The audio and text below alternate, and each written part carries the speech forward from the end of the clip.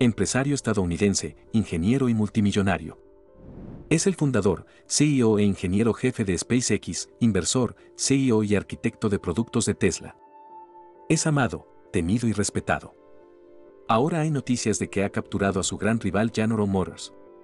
Y mucha gente, a juzgar por la forma en que Elon Musk compró Twitter y despidió a 3.700.000 personas, piensa que será lo mismo con los empleados de General Motors. ¿Es así? ¿Qué pasará con la industria de los vehículos eléctricos y por qué Tesla compró General Motors? Mientras tanto, voy a hablar de ello suscríbete al canal. General Motors es una de las compañías automotrices más grandes del mundo, pero el mundo automotriz está lleno de competencia. Todas las empresas compiten entre sí todos los días. Agregar la alta inflación y la recesión a la que ha sido sometida nuestra economía es un golpe para la industria, sin ayudar a progresar y mantener la competencia. General Motors era una compañía que quería cambiar el mundo de los automóviles para siempre. Pero para llevar a cabo sus planes, la compañía tuvo que tomar una serie de decisiones arriesgadas. General Motors tenía un plan para que todos tuvieran un automóvil eléctrico en el futuro. Merry Barra está siguiendo un aumento de 27 mil millones de pesos en el gasto en investigación y desarrollo de vehículos eléctricos. Está decidida y está dispuesta a aportar recursos para esos esfuerzos. La compañía espera vender un millón de vehículos eléctricos en 2025. Por ambicioso que parezca, los analistas afirman que no se acercará a la posición que la señora. Pero tan pronto como la compañía anunció sus planes, sufrió enormes pérdidas. La situación se salió de control y General Motors tendrá que cerrar sus fábricas. Esto se haría como última medida, ya que significaría para miles de personas la pérdida de empleos y, más allá, un agujero en la economía. La economía de Estados Unidos está en dificultades. Tesla nunca ha sido una simple empresa orientada a los ingresos netos. Uno de los principios fundamentales de la empresa sigue siendo la creación de productos de calidad y la creación de un mundo mejor para las personas. General Motors, para realizar sus planes, necesita una gran cantidad de inversión en sus proyectos. Los planes de Mary Barra son muy ambiciosos. General Motors presentará 30 nuevos modelos de vehículos totalmente eléctricos para 2025. Para entonces, los vehículos eléctricos representarán el 40% de toda la gama de la compañía en los CE. La CEO de GM, Mary Barra, dijo que la compañía tiene la intención de pasar a una gama que consiste completamente en vehículos eléctricos. El fabricante de automóviles considera que este paso es una contribución para abordar el cambio climático. La compañía General Motors ha esbozado claramente un plan según el cual se centrarán en la producción de SUV, camiones y crossovers. Además, la compañía dijo que ahora para ellos la arquitectura eléctrica del automóvil es una prioridad. Según Elon Musk, General Motors es una compañía obsoleta que intenta convertirse en la nueva corporación moderna. Tesla no tiene que lidiar con los aspectos heredados de la industria automotriz. Es una nueva corporación moderna. Y no sería sorprendente si Elon Musk adquiriera la compañía General Motors. Cuando se le preguntó si consideraría comprar alguna planta que General Motors pueda estar inactiva, Musk respondió afirmativamente. Es muy posible que estaríamos interesados, lo hubiéramos asumido. Lo que realmente sucedió. Elon Musk compró la planta a General Motors y la gente de la planta no perdió sus asientos. Tesla también fabrica más autos en su planta de Fremont, California, que cuando era una planta operada por General Motors. Según el director general del fabricante de automóviles eléctricos, Elon Musk, la planta de Tesla Fremont ha superado la producción desde Toyota y GM e incluso tiene el potencial de superar ese número en un 50%. Musk da la bienvenida a la competencia. Dice que es parte de su visión.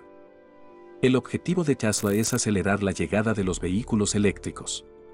Transporte sostenible y tratando de ayudar al medio ambiente. Así lo hizo. Después de que Elon Musk demostró que la gente tiene una demanda de autos eléctricos, comenzaron a producirlos después de Tesla. General Motors planea invertir 35 mil millones de pesos hasta 2025 en vehículos, totalmente eléctricos y autónomos, lanzar más de 30 nuevos vehículos eléctricos en todo el mundo y duplicar los ingresos anuales para fines de la década.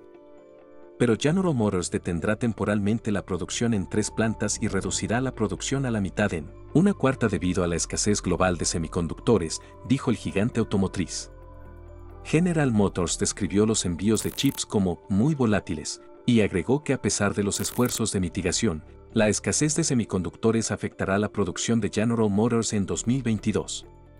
Elon Musk como empresario está interesado en comprar las fábricas de General Motors. Para un hombre de negocios, esta es una solución comprensible, porque es mucho más tomar una planta existente y convertirla que construir la suya desde cero. Y no todas las personas en las fábricas no pierden sus lugares. Como dijimos anteriormente, Elon Musk mejora varias veces el rendimiento de tales plantas. Sabe hacer ganancias. Podría tener la sensación de que Elon Musk, al comprar fábricas de General Motors, les ayuda y su relación es amistosa, pero no lo es. Nadie está monitoreando el estado de la Unión, dijo Musk en un correo electrónico a CNBC. Biden elogió la inversión combinada de Ford y GM de 18 mil millones de pesos para construir vehículos eléctricos. Tesla, el gigante de los autos eléctricos, no fue mencionado en el discurso de Biden ante la nación. Musk no respondió de inmediato a las solicitudes de comentarios posteriores de CNBC. Más tarde, Musk escribió directamente a Biden, diciendo, Tesla ha creado más de 50 000 empleos en los Estados Unidos mediante la creación de vehículos eléctricos, e invierte más del doble que GM y Ford combinados. La falta de mención de Biden, lo que lleva a los últimos comentarios de Musk, se produjo después de que CNBC informara sobre la batalla en curso entre el multimillonario y el comandante en jefe. Antes de la compra de Twitter, la fortuna de Musk, que también dirige la compañía de exploración espacial SpaceX, se estima en 235 mil millones de pesos, según Forbes. Musk había regañado previamente al presidente en Twitter, más recientemente a fines de enero, después de que Biden se reuniera con la CEO de General Motors, Mary Barra, y el CEO de Ford Motor, Jim Farley, en una sesión informativa con otros líderes corporativos para discutir la iniciativa del presidente Build Back Better, que se ha estancado en el Congreso el fabricante de automóviles estadounidense General Motors anunció la suspensión de la colocación de anuncios en la red social Twitter. Como razón oficial, citó la necesidad de evaluar el nuevo curso de desarrollo de Twitter. La compañía continuará utilizando la plataforma para interactuar con los clientes, pero no pagará por los anuncios, precisó GM. Estamos trabajando con Twitter para comprender la dirección de la plataforma bajo su nuevo liderazgo, Debido a cambios significativos en la plataforma de medios, como suele ser el caso, hemos suspendido temporalmente el pago de nuestros anuncios.